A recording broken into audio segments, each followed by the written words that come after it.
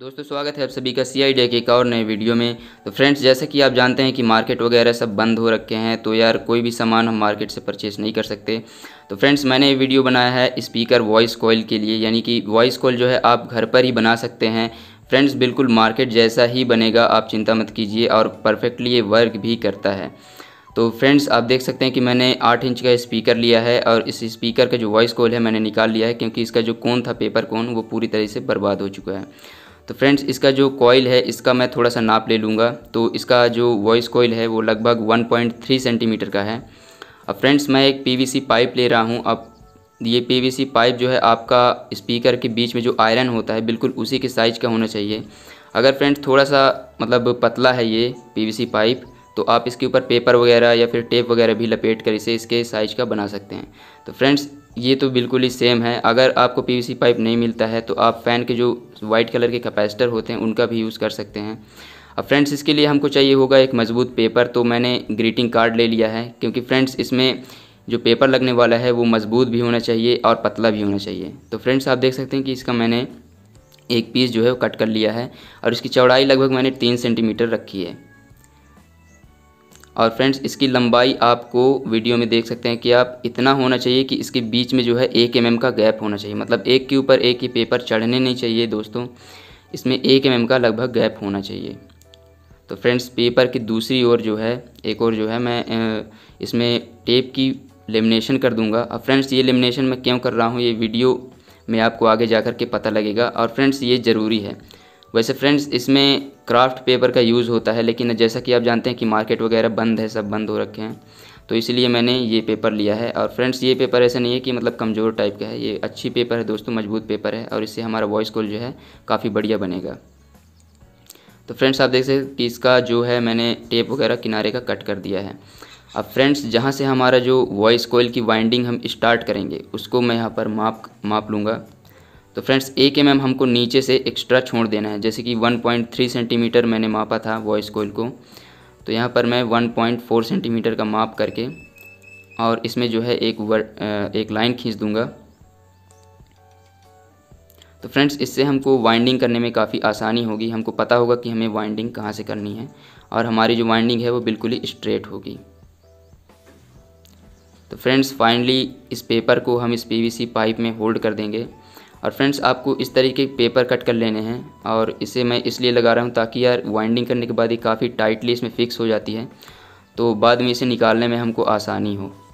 और friends cello tape की मदद से इसे मैं इसमें फ़िक्स कर दूँगा। तो दोस्तों, वीडियो काफ़ी काम की है।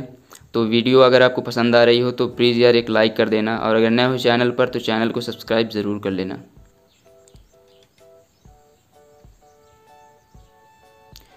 तो फ्रेंड्स, जो दूसरा पेपर था, इसको भी हम इसमें फ़िक्स कर देंगे।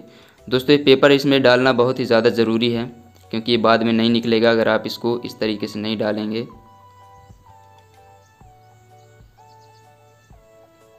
अब दोस्तों, जिस तरफ़ हमारा, अगर वॉइस हमारा कॉइल जो है वो नीचे की तरफ़ वाइंडिंग है तो राइट साइड में हमारा पॉजिटिव वायर आना चाहिए और लेफ़्ट साइड में जो है नेगेटिव वायर आना चाहिए। तो दोस्तों, यहाँ पर आप देख सकते हैं मैंने सैंतीस गेज का जो है वायर लिया है। और दोस्तों, अगर आप मार्केट से ख़रीदोगे, वैसे तो अभी मार्केट बंद है तो आपको जुगाड़ करना पड़ेगा अगर आप बनाते हैं तो। तो आप ट्रांसफार्मर का वायर यूज़ कर सकते हैं, लेकिन दोस्तों, ध्यान दीजिएगा कि वायर ज़्यादा मोटा नहीं होना चाहिए, वरना जो स्पीकर के बीच में जो खाँचे होते हैं, उनमें टच होने लगेगा। ओके तो वायर आप देख लेना, ज़्यादा मोटा ना हो। तो फ्रेंड्स, मैंने सैंतीस गेज का वैसे लिया है। और दोस्तों, इसको मैं पेपर में पॉजिटिव की तरफ़, यानी जो हमारा स्टार्टिंग वायर है उसको मैंने पॉजिटिव की तरफ़ रखा है, जो एंडिंग वायर होगा हमारा, वो नेगेटिव की तरफ़ जाएगा।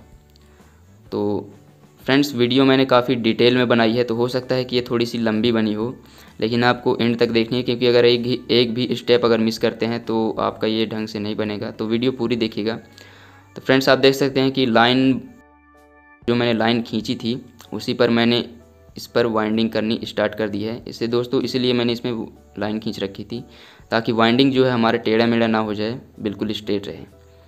ओके तो फ्रेंड्स एक टिप देना चाहूँगा मैं आपको कि अगर आप वाइंडिंग करने बैठे हैं, अगर आपके पास ऐसे मशीन नहीं है, जैसा मैं हाथ से कर रहा हूँ तो आप यार बाथरूम वगैरह पानी वानी पी के बैठिए, क्योंकि आप अभी आधे घंटे तक यहाँ से हिल नहीं सकते।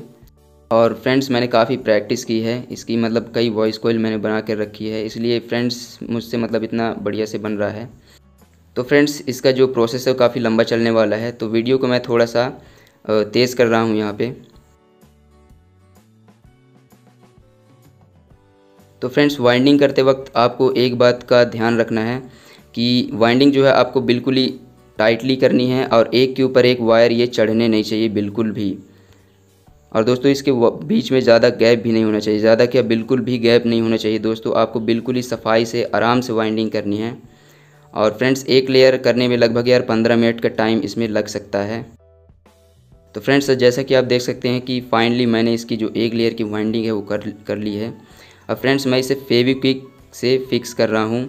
वैसे दोस्तों, इसमें वॉइस कॉइल एडिसिव का यूज़ किया जाता है, लेकिन वो तो अपने पास नहीं है और आपके पास भी अगर नहीं है तो आप फेविक्विक से काम चला सकते हैं।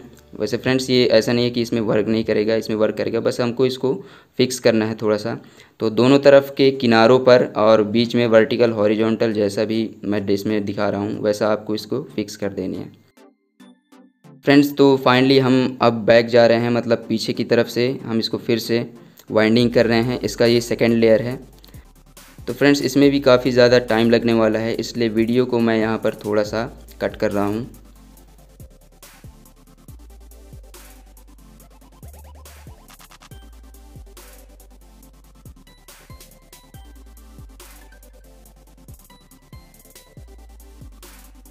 ओके okay, तो फ्रेंड्स आप देख सकते हैं कि वीडियो में मैंने पूरी वाइंडिंग कर ली है। और जैसा मैंने बताया था कि बाथरूम वगैरह करके ही आप ये काम करिएगा। और फ्रेंड्स, एक बात का ध्यान रखें कि इसको आप अच्छे से पकड़े रहें पीवीसी पाइप को। अगर आपके हाथ से ये छूट गई तो आपका पूरा मेहनत जो है वो बेकार चला जाएगा। तो फ्रेंड्स, इसकी वाइंडिंग तो मैंने पूरी कर ली है। अब फाइनली इसको फेविक्विक से अच्छे से फिक्स कर लेंगे। तो फ्रेंड्स, दोनों किनारों पर, और इसको आपको फ्रेंड्स अच्छे से फिक्स करनी है। अगर थोड़ा भी मतलब एक भी जगह ये फिक्स नहीं हो पाया तो ये पूरा वाइंडिंग आपका जो है निकल जाएगा। तो दोनों तरफ़ आपको अच्छे से इसकी वाइंडिंग सॉरी, चिपका देना है फेविक्विक से, जैसा आप वीडियो में देख रहे हैं। तो फ्रेंड्स, इसका जो हमारा नेगेटिव वायर है, उसको भी हम टेप से इसमें फ़िक्स कर देंगे। और जो इस, इधर का वायर था दोस्तों एक्स्ट्रा वायर उसको हम कट कर चुके हैं। अब फ्रेंड्स, इसका जो पेपर था दोनों, उसको हम निकाल, निकालेंगे। तो फ्रेंड्स, आप देख सकते हैं, काफ़ी ज़्यादा ताकत लगा रहा हूँ मैं अपने ढाई किलो के हाथ से।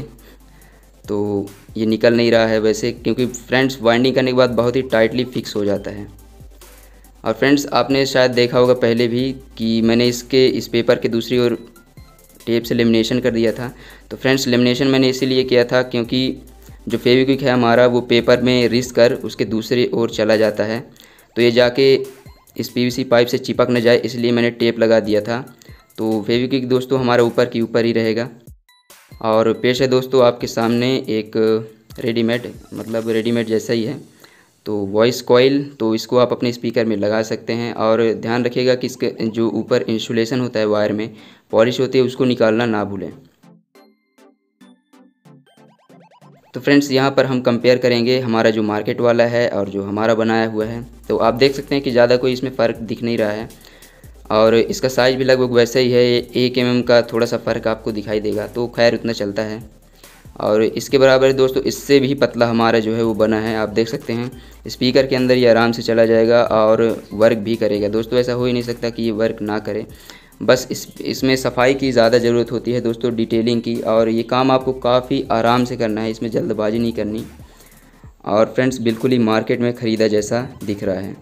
तो फ्रेंड्स, अगर ये वीडियो आपको पसंद आया हो तो प्लीज़ इस वीडियो को लाइक कर दीजिएगा, शेयर कर दीजिएगा, और अगर नए हो चैनल पर तो चैनल को सब्सक्राइब ज़रूर कर लीजिएगा, क्योंकि मैं ऐसे ही वीडियोज़ बनाते रहता हूँ, ऐसे यूनिक आइडियाज़ आपको मिलते रहेंगे, अगर आप चैनल को सब्सक्राइब करते हैं तो। तो फ्रेंड्स, मिलते हैं नेक्स्ट वीडियो में, तब तक के लिए सावनारा और गुड बाय।